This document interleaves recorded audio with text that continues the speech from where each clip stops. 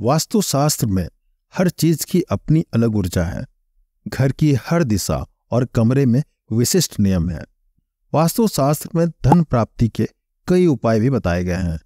दिन रात मेहनत करने के बावजूद घर में पैसा नहीं आता है या पैसा नहीं टिकता है। वास्तुशास्त्र में धन और पर्स के बारे में कई नियम बताए गए हैं। आइए जानते हैं। फटा पर्स से कंगाली। फटे पर्स को वास्तुशास्त्र में बहुत अशुभ माना जाता है।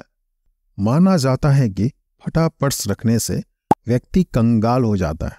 फटे पर्स का इस्तेमाल करने वाले लोगों को जीवन भर पैसे नहीं मिलते। पर्स को कभी भी अधिक नहीं भरना चाहिए। फिचूल कागज़ कभी भी इसमें नहीं होना चाहिए। माना जाता है कि पर्स में रद्दी रखना दुर्भाग्यपूर्ण है।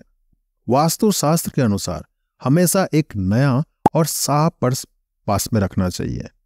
अगर आप अपने पर्स से बहुत प्यार करते हैं और उसे फटने पर भी फेंकना नहीं चाहते हैं तो कुछ उपाय आपके लिए काम कर सकते हैं। इस चीज़ को फटे पर्स में रखें। आप अपने पुराने पर्स से बहुत प्यार करते हैं और उसे फेंकना नहीं चाहते हैं तो पुराने पर्स का सारा सामान नए पर्स में डाल दें। अब एक रुपए का सिक्का लाल कपड़े में लपेटकर अपने पुराने पर्स में रख दीजिए। ऐसा करना वास्तुशास्त्र में शुभ माना जाता है। इससे धन की, माता लक्ष्मी की कृपा बरकरार रहती है।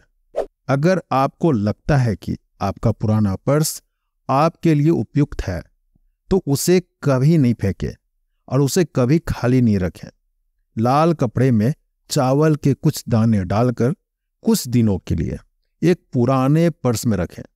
बाद में अपने नए पर्स में उन्हें रखें। वास्तुशास्त्र के अनुसार ऐसा करने से नए पर्स में पुराने पर्स की सकारात्मकता ऊर्जा आती है, जो धन लाने का योग बनाता है। अगर आप सिर्फ़ अपने पुराने पर्स को रखना चाहते हैं तो इसे बनाने के बाद कुछ दिनों तक इस्तेमाल कर सकते हैं। लेकिन पूरी तरह से फटे पर्स को बिल्कुल भी नहीं रखना चाहिए।